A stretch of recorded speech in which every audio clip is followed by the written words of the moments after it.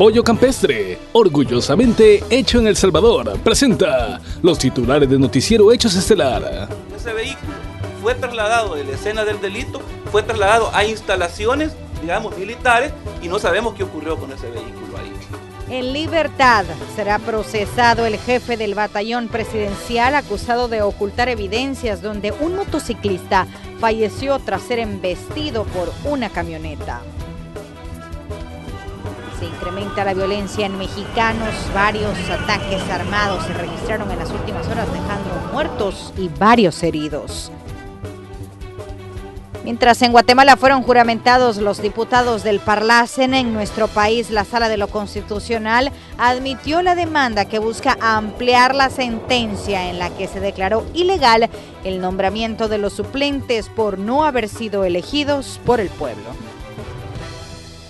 Un cabo de las Fuerzas Especiales falleció al caer a un techo de una fábrica luego que fallara su paracaídas mientras realizaba una práctica. Le tenemos los detalles. A pocos días para celebrarse las elecciones presidenciales en Estados Unidos, el FBI encontró nuevos correos de Hillary Clinton vinculados a escándalos y reabre la investigación.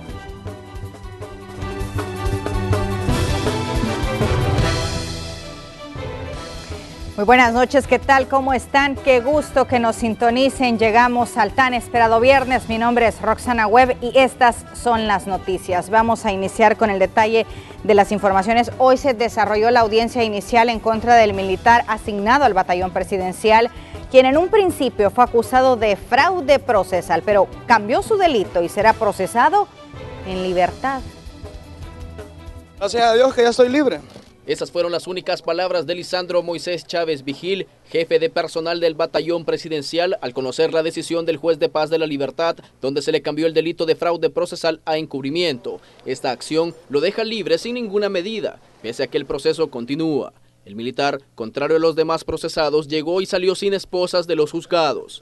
A Chávez Vigil se le acusó de obstaculizar los procedimientos legales la madrugada del 1 de mayo de este año, donde una camioneta asignada a Casa Presidencial mató a Mario García, un motociclista que se conducía en la carretera hacia el Puerto de la Libertad. Sus defensores dijeron que están satisfechos por la resolución y añadieron que los argumentos que la Fiscalía presentó no fueron contundentes porque era un delito totalmente atípico como la Fiscalía estaba solicitando. Entonces, en ese sentido, el juez, este, muy apegado a derecho, decidió este, recalificar el delito, por lo tanto, este, eh, hacerlo al delito de encubrimiento y por lo tanto este, el señor ya va a quedar en libertad. La fase de instrucción sigue, únicamente que ahorita solamente eh, se valoran indicios y por lo tanto, sea, a criterio del juez tampoco no se reunían los elementos del tipo para decretar una detención provisional. Por su parte, el Ministerio Público señaló que analizará la decisión del juzgado y que en los próximos días podrían apelar.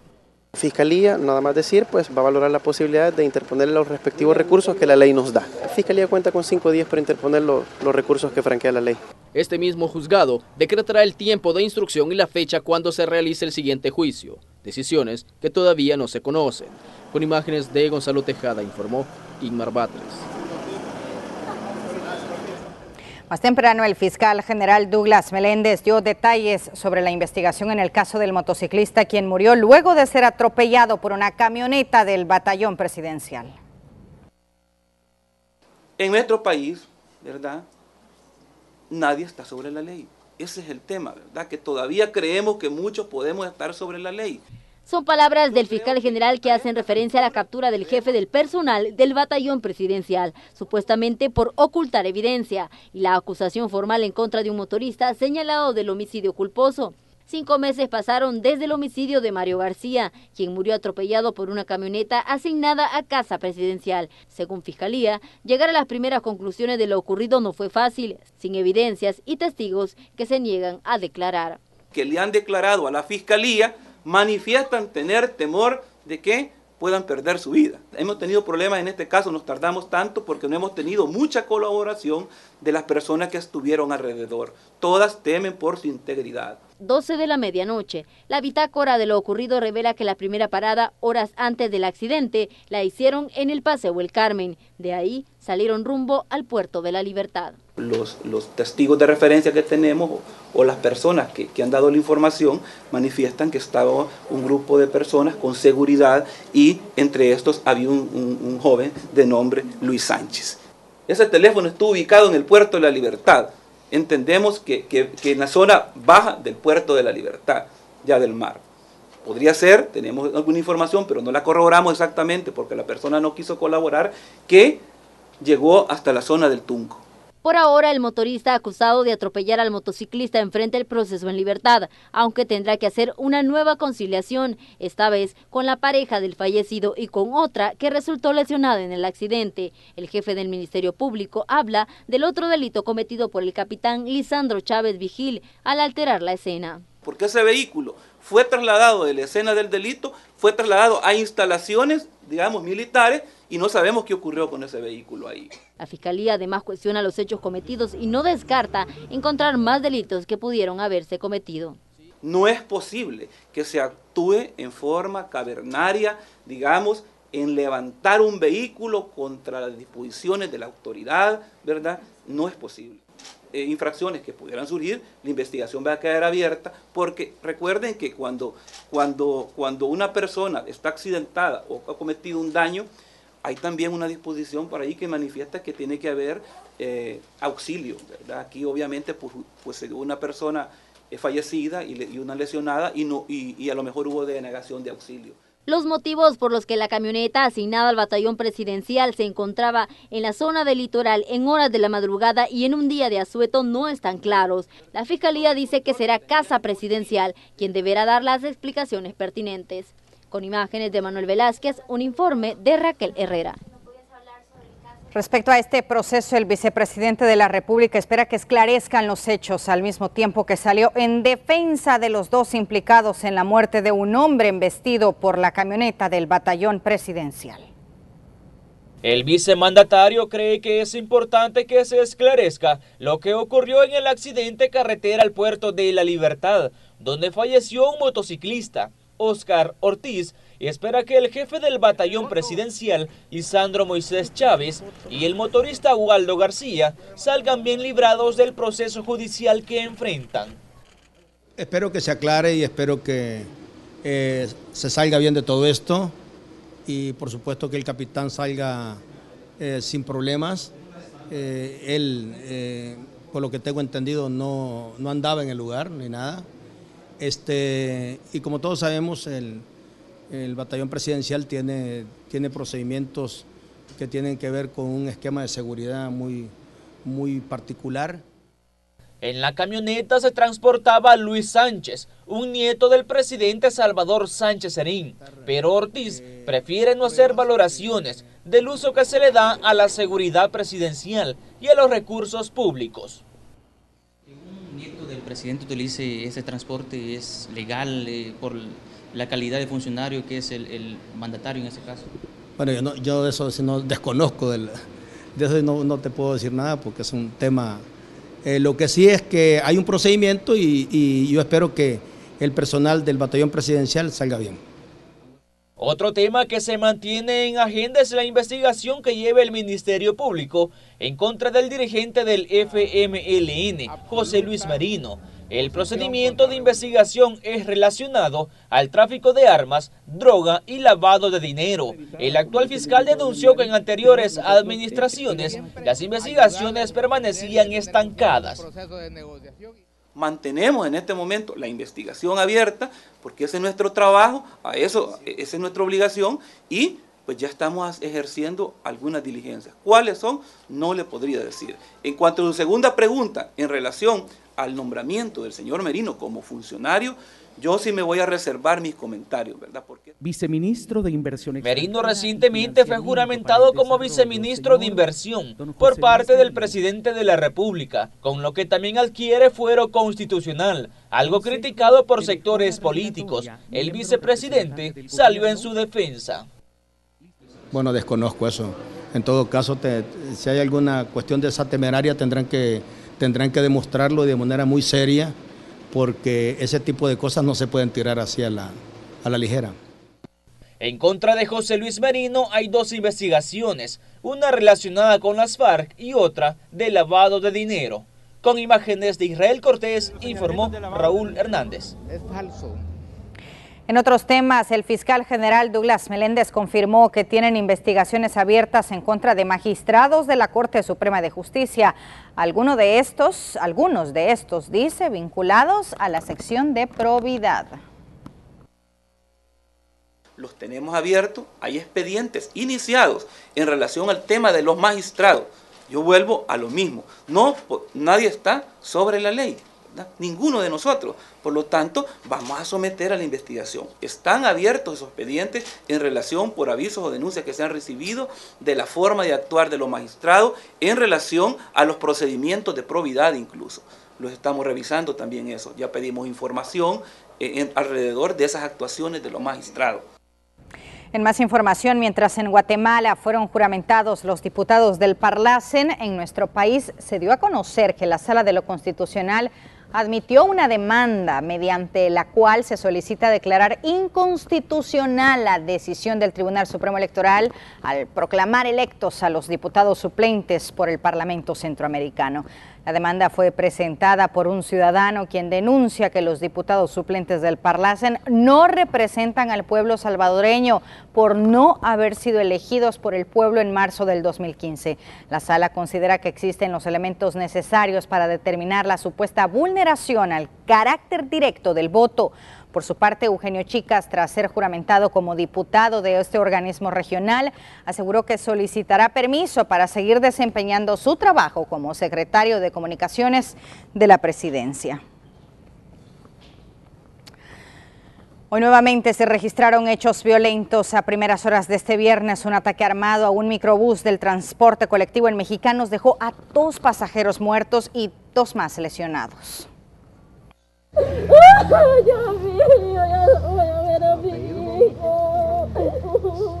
Kevin Adonai Ramos, de 24 años, era uno de los pasajeros a bordo de un microbús de la ruta 6A. Él junto a José Manuel Artiga Reyes, de 21, transitaban en la calle Amariona, mexicanos, como lo hacían a diario. Sin embargo, su historia cambió. Un sujeto que se conducía a bordo de una motocicleta estaba por ahí estacionado cuando la Coster llega al tráfico normal que a esta hora pues se da en esta calle Mariona, el sujeto saca su arma de fuego y empieza a disparar contra la humanidad de las personas que se conducían. Esta persona que está aquí, él había estado en la cárcel. Dos meses le digo a él, pero como una confusión, porque a él lo agarraron cuando agarraron más muchachos y se lo llevaron a él, pero sin tener nada que en el ataque también resultaron lesionados otros dos pasajeros que fueron trasladados hacia un centro hospitalario. Podemos afirmarles que eh, todas son del sexo masculino. La escena del crimen se dividió en dos. Una, en la calle 15 de septiembre frente a la subdelegación de mexicanos. En ese lugar estaba el cuerpo de José Manuel Artiga al interior del microbús, mientras que en la calle Mariona se localizó a Kevin Ramos, quien se presume cayó de la unidad luego de recibir impactos de bala. Resulta de que el conductor tomó a bien de donde ocurrieron los hechos, aproximadamente un kilómetro de distancia, y él traslada la, la hacia lo que es eh, la subdelegación con el objeto de brindar auxilio a las personas lesionadas. Aquí las autoridades restringieron el paso en calle Mariona, lo que llevó a las personas a caminar varias cuadras para poder llegar hacia sus destinos. Vamos tarde para el trabajo. ¿Y cuánto tiene que caminar? Tres kilómetros he caminado ahorita. ¿Y hacia dónde se dirige? Ah, allá por el Bloom. ¿Desde dónde? Desde allá de la Majucla vengo. Bastante, porque uno tiene que entrar temprano al trabajo. Imagínense, yo entro a las 7 y qué horas son ya. ¿Y desde dónde viene caminando? Desde aquí de la Buenavista, pero igual, ¿verdad? Me tocaba entrar a las 7 y voy a entrar quizás a las 9 porque tengo que caminar de aquí hasta Mira Valle. Por ahora las autoridades se encuentran trabajando para determinar el motivo del ataque. La información es escasa y existen varias líneas de investigación. En más hechos violentos, autoridades registraron el fallecimiento de Javier Antonio Hueso Díaz, quien perdió la vida en un aparente caso de intolerancia al interior de un bus de la ruta 38A. Por este caso, se retuvo a Mario Alfredo Sánchez, de 58 años. En otro punto de Apopa también se registró el asesinato de Marco Antonio Torres Leiva en la cuarta calle Oriente. Desde Mexicanos y con imágenes de Juan Castellanos, ese es un informe de Marcela Rivera. Y el ministro de Justicia habló sobre los hechos ocurridos en Mexicanos, donde dos personas fueron asesinadas al interior de un microbús de la Ruta 6. Además, aclaró sobre otra persona lesionada a quien relacionaban con el primer hecho. Dice que se trató de otro ataque armado en la zona. Se está en proceso de determinar su posible pertenencia a un grupo de, pandillas de la zona, pero eso no, no lo hemos corroborado aún. En el mismo hecho salen otras personas lesionadas dentro de la misma unidad de transporte colectivo. Eh, posteriormente, minutos después, se interceptan dos personas que se conducían en una motocicleta eh, en, el sector de Villahermosa, siempre en Cuscatancingo. Inicialmente se, se, relacionó a esas dos personas con el, hecho del microbús. De estas una se iba lesionado eh, fue conducido al hospital y posteriormente fallece. Pero ya se logró establecer que no hay ninguna relación entre los dos hechos. En otro hecho violento registrado en Mexicanos, la Policía Nacional Civil reportó un tiroteo en el centro de ese municipio. El hecho dejó una persona lesionada. La víctima fue identificada como Jorge Alberto Morales, de 28 años, quien fue trasladado a un centro hospitalario con al menos dos impactos de bala. Hasta el momento se desconoce el móvil de este ataque. Y las autoridades de seguridad hablaron sobre el incremento de los homicidios en octubre atribuido a un alza en los enfrentamientos armados con pandilleros. Según el ministro de Justicia, en lo que va del mes registran 359 hechos violentos. Por ahora la cifra de asesinatos se mantiene en 13 por día.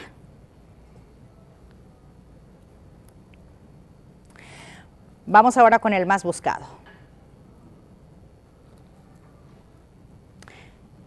Ahí lo tenemos ya en pantalla. El más buscado de este día es Melvin Edín Flores Ramírez, alias El Payaso, quien es acusado de los delitos de homicidio y agrupaciones ilícitas.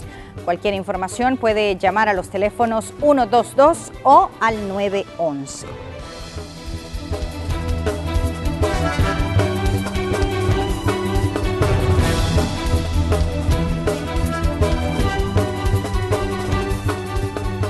Vamos ahora con la sección Hechos en redes. Vamos a ver algunas de nuestras publicaciones y el movimiento, la interacción que hemos tenido con toda nuestra comunidad muy grande y muchos saludos desde ya para quienes nos están viendo, incluso fuera de nuestras fronteras a través de Facebook.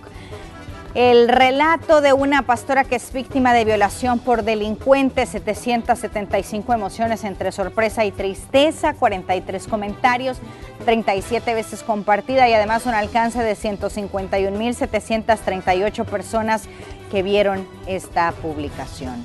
La segunda de la sección Hechos en redes, ahí la tiene usted en pantalla, es una fotografía del requerimiento que presentó la Fiscalía General de la República contra el jefe del personal del batallón presidencial. 297 emociones entre enojo y sorpresa, 39 comentarios, dos veces compartida y un alcance de 74.845 personas que vieron esta publicación.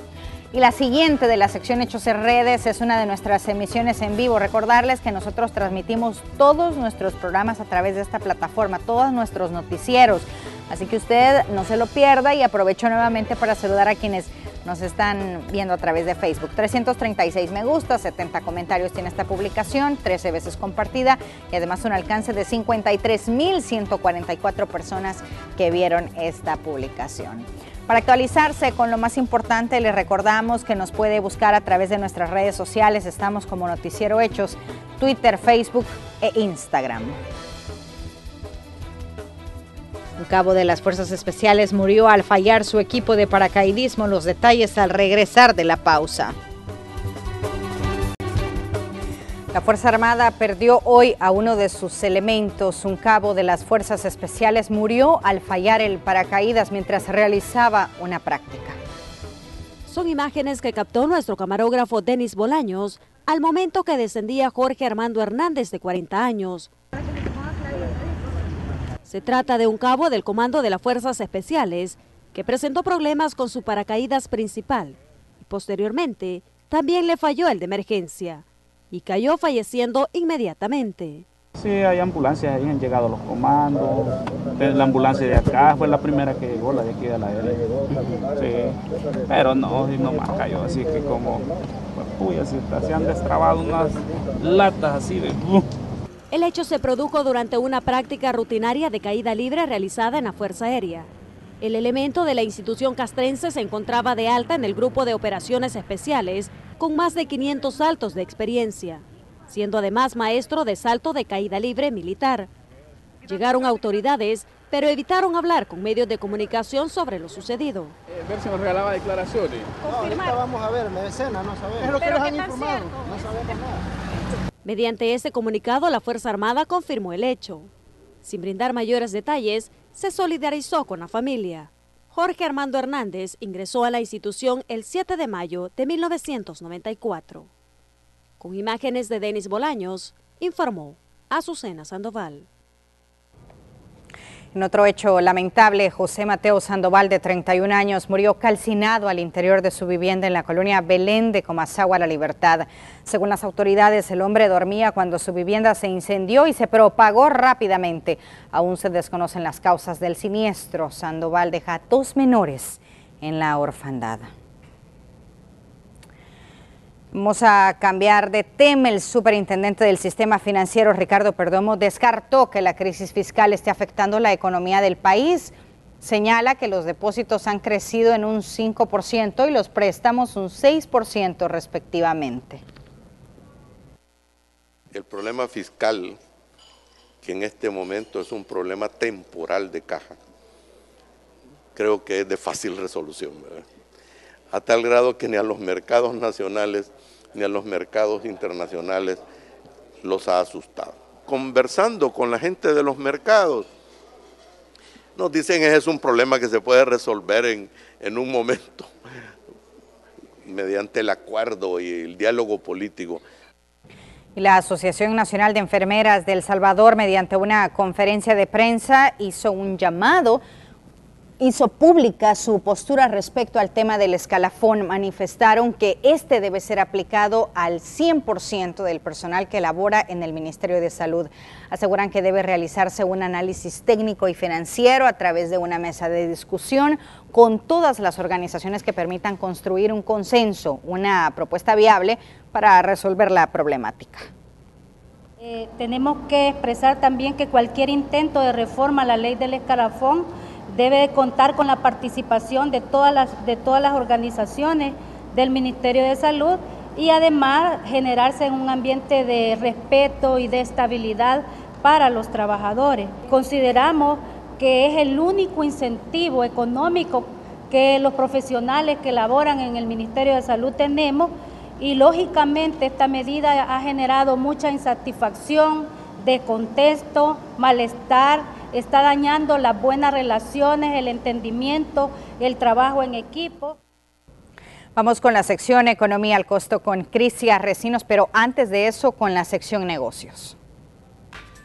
Simán busca siempre innovar en prendas para sus clientes para esta temporada. Muestra sus nuevas colecciones de las marcas exclusivas Online, Vero Moda y Unexpected dirigidas a una mujer contemporánea, con un estilo de vida multifuncional y que gusta de estar a la moda y siempre mostrar su estilo.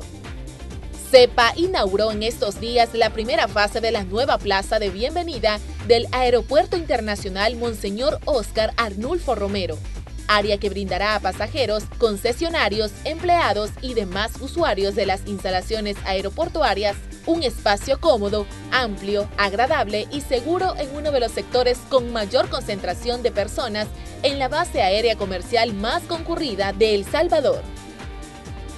Industrias La Constancia con su marca Pilsener inauguró el evento tan esperado por todos los salvadoreños, el Oktoberfest Pilsener El Salvador 2016, en un ambiente de celebración bajo el marco de sus 110 años de historia en el país.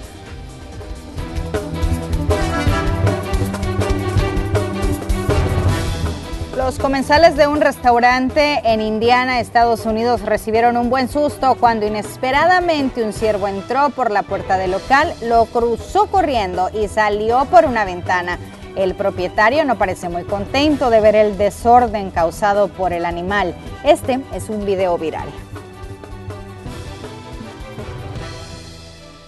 Los amantes de la aviación conocieron la tecnología, productos y servicios relacionados a este sector. Los detalles al regresar de la pausa.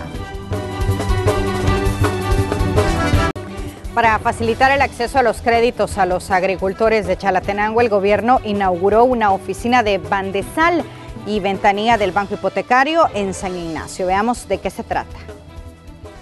Estas son las nuevas oficinas de Bandesal y una ventanilla del Banco Hipotecario, ubicadas en la dirección ejecutiva del Plan Trifinio en San Ignacio, Chalatenango.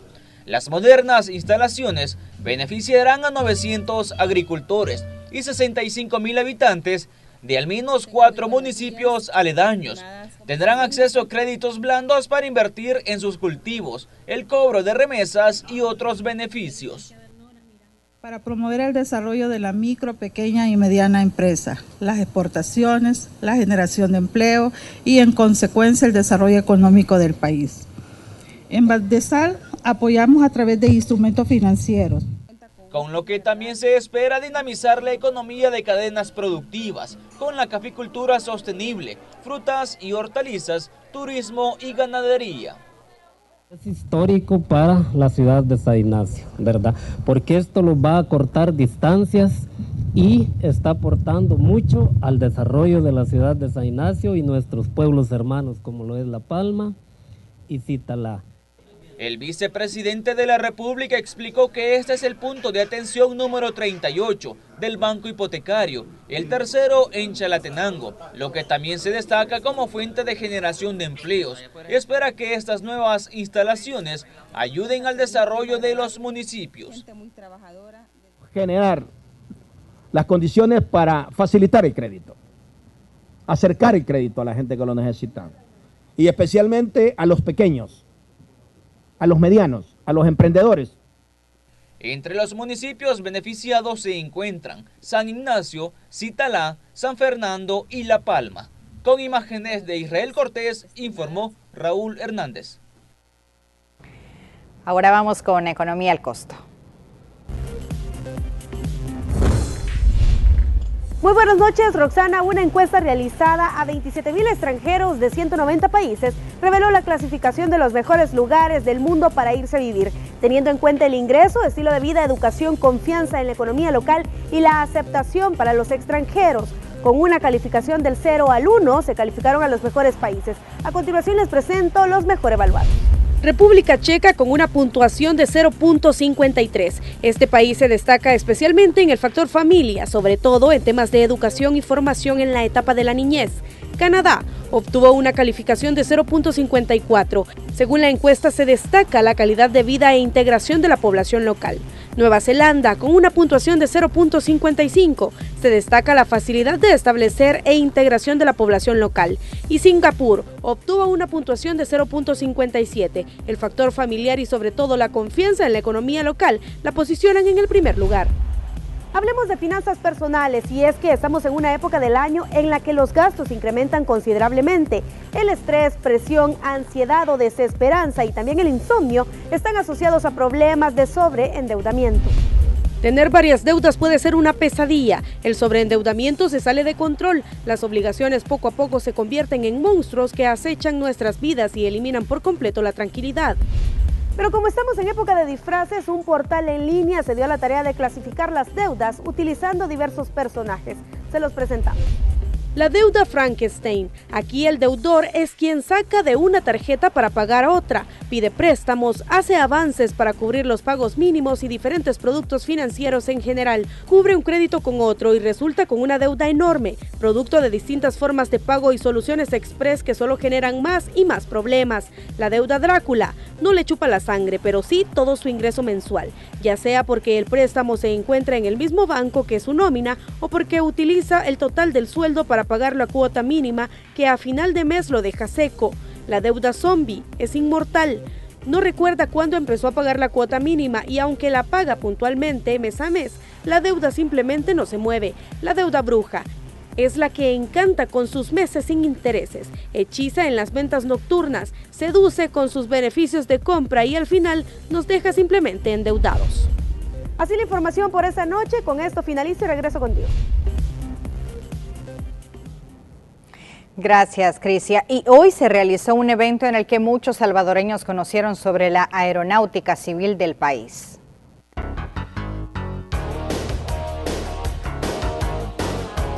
Los amantes de la aviación conocieron la tecnología, productos y servicios relacionados a ese sector. Con la participación de instituciones y empresas involucradas, la Autoridad de Aviación Civil llevó a cabo la segunda feria aeronáutica en El Salvador. Esta actividad lo que pretendemos es que se converjan acá tanto operadores como usuarios jóvenes también que tienen alguna pretensión para pues, optar por la carrera de piloto o en el área de mantenimiento aeronáutico. Que también el pueblo salvadoreño conozca eh, las instalaciones de la autoridad, conozca todo lo que se realiza acá. En la feria se promovió el trabajo que realizan las siete escuelas privadas de aviación en el país. En este país, por aquellos que no lo saben, nacen más pilotos que en todos los demás países centroamericanos juntos. Hay una gran cantidad de, de estudiantes que vienen de fuera también para estudiar aquí. Tenemos un, un nivel de educación muy bueno. Parte de los conocimientos aprendidos en instituciones que cuentan con estudios relacionados a la aeronáutica también fueron presentados a los asistentes. Nuestro proyecto consiste en la simulación de un avión AT-6 es un prototipo, este, nosotros lo que hemos hecho es simularlo, acoplándole una hélice de paso fijo.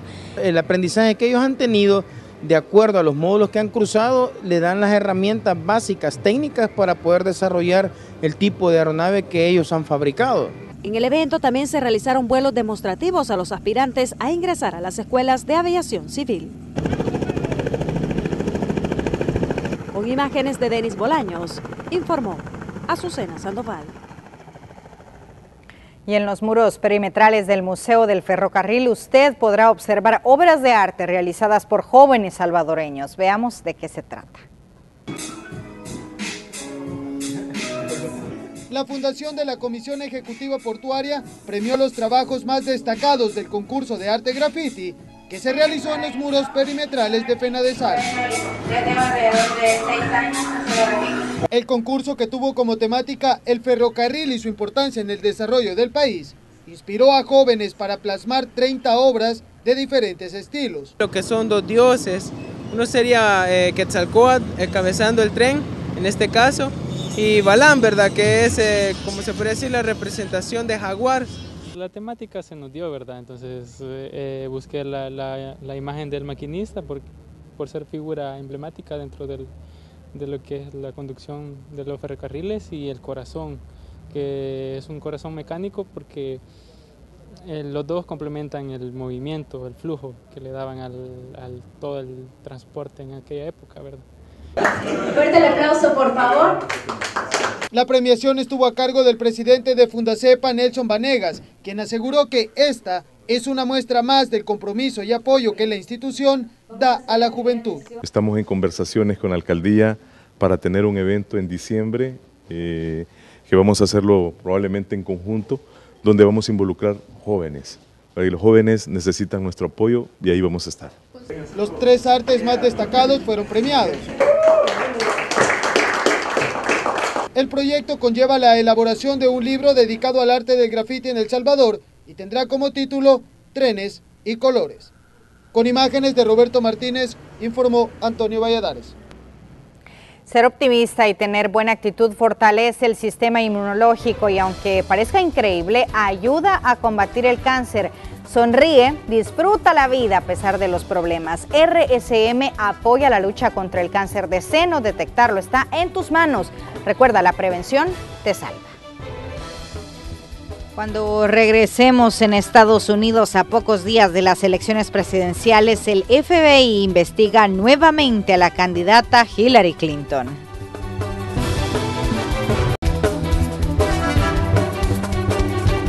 Vamos ahora con las noticias internacionales. Las comenzamos en Guatemala. El exministro de Finanzas Públicas, Pavel Vinicio Centeno, se suicidó luego de herir de bala a un policía y un fiscal del Ministerio Público. El hecho ocurrió cuando realizaban un allanamiento en la zona 4 de Mixco, residencia del ex titular de la cartera del Tesoro.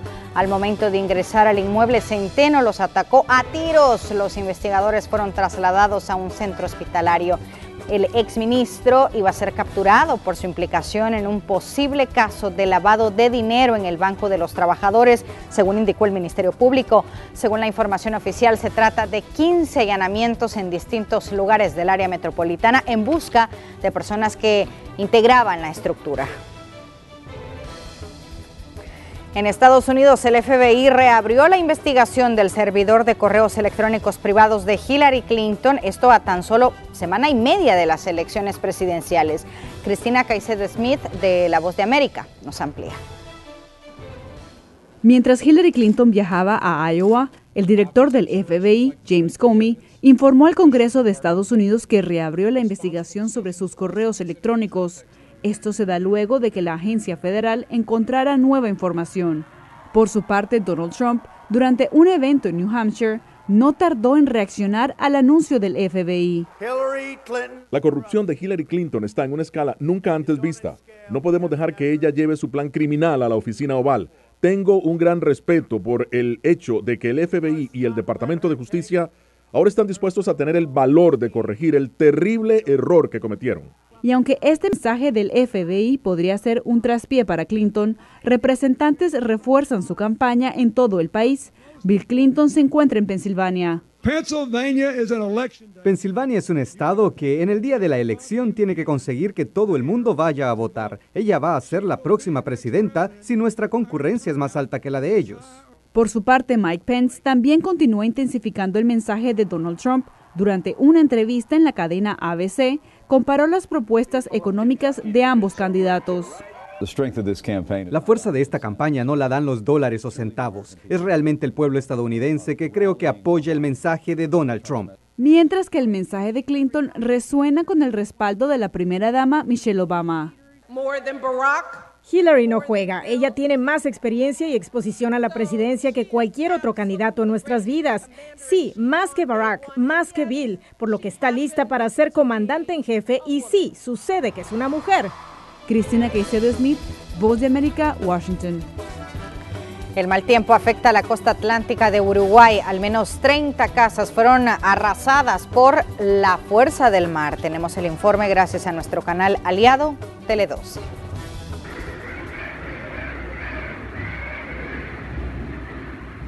El fuerte temporal provocó las gigantes en la costa de Montevideo. El viento levantó el agua que golpeaba sobre el murallón para pasar por encima de la rambla hasta alcanzar la vereda norte. Circular por la rambla no fue fácil. El intenso viento movía los vehículos y el agua del río sobre el parabrisas hacía imposible avanzar. La visibilidad quedaba nula por momentos. La rambla sur hasta el Parque Rodó fue la zona más afectada, donde en algunos tramos rompió el muro y los baldosones. En la costa más hacia el oeste también el río subió hasta la vereda y sacudió las embarcaciones varadas. El puerto permanecerá cerrado hasta la medianoche.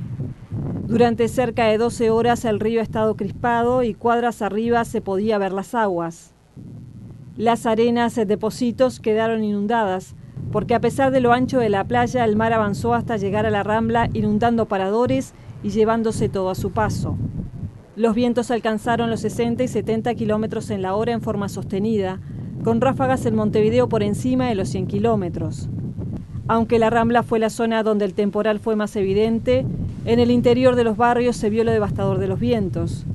Cerca de 150 árboles cayeron en la capital y más de un centenar de ramas de gran tamaño cayeron en las casi 20 horas de viento fuerte. Algunos árboles fueron arrancados de raíz, rompiendo veredas y cortando calles, y en muchos casos obstruyendo viviendas. Veamos un resumen de noticias internacionales gracias a Infobae. Esto es Infobae en 60 segundos. Juan Manuel Santos afirmó que no descarta otro plebiscito por la paz en Colombia. El presidente sostuvo que el acuerdo con las FARC puede estar concluido a fines de noviembre y que no teme ir nuevamente a las urnas. El FBI reabrió la investigación por los correos electrónicos de Hillary Clinton. El director del organismo aclaró que aún no se puede evaluar si el material investigado es significativo o no. El entrenador del Manchester United, José Mourinho, confesó que llorará cuando Lionel Messi esté a punto de abandonar su actividad profesional. A pesar de ser uno de sus mayores rivales, el DT reconoció la calidad del argentino. Usain Bolt debutó como cantante. El velocista jamaiquino subió a sus redes sociales un videoclip en el que demostró su talento para la música. En diciembre saldrá su primer single. Para más información visite infobae.com. Síganos en nuestras redes sociales.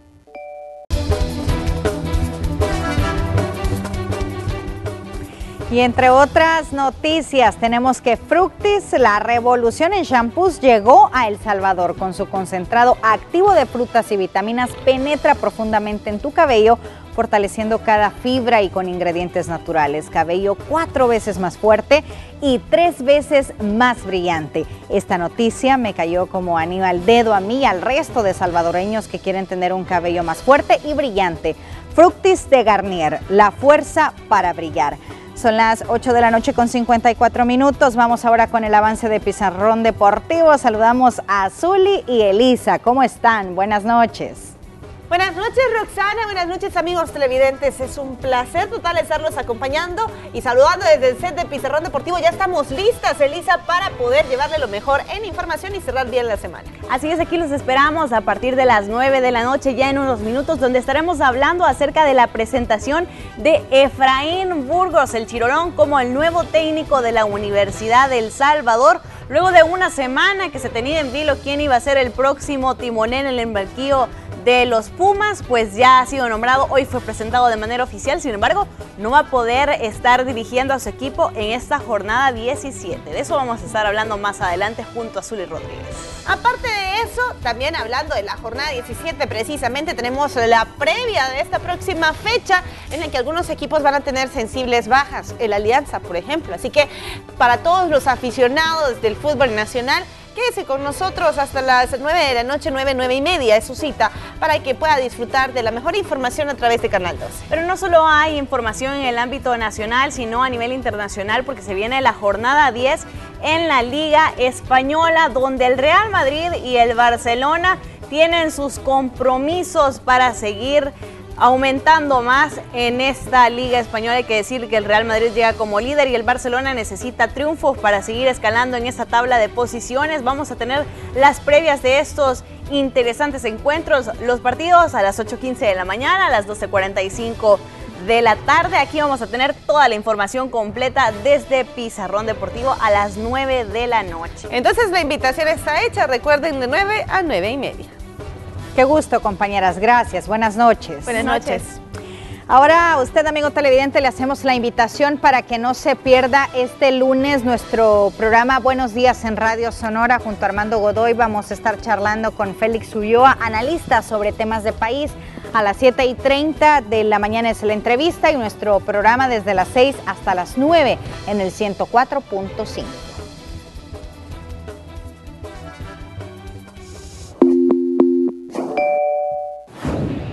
El regreso de Phil Collins, el ex baterista y cantante de Genesis, estuvo en el programa de Jimmy Fallon, donde presentó su nueva colección de singles de tres CDs, su autobiografía y anunció nueve fechas de su gira como solista en Europa para el 2017.